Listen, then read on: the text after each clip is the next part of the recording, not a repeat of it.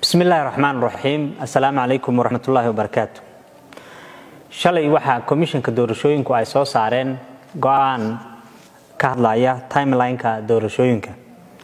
Sidaan la soconno maanta somalilan waxay ku jirtaa marxalad aad iyo aada u adag. Go'aanka ay soo saareen guddiga doorashooyinkuna waa mid keeni kara dhaawac aanay somalilan ka soo kaban. Sidaas daraaddeed xisbigu wuxuu si mug leh oo qoto dheer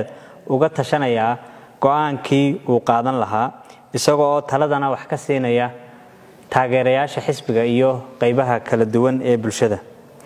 Waxaan taageerayaasha xisbiga waddani u sheegayaa inay u diyaargaroobaan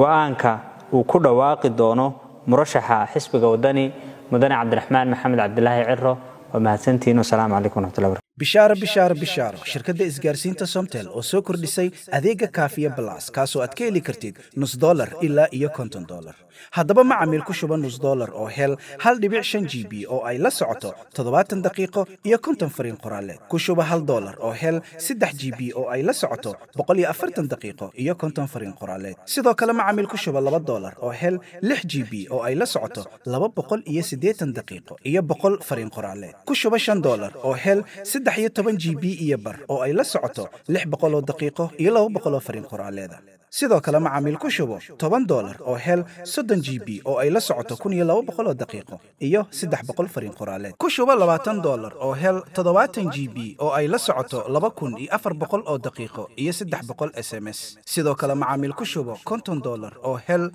boqol iyo konton g b oo ay la socoto lix kun oo daqiiqo iyo saddex boqol s m s. Adeega kaafiye blas waxaad ugu shuban kartaa idahab xidig hal eber hal afar geys airtime xidig laba boqol afar geys reseller xidig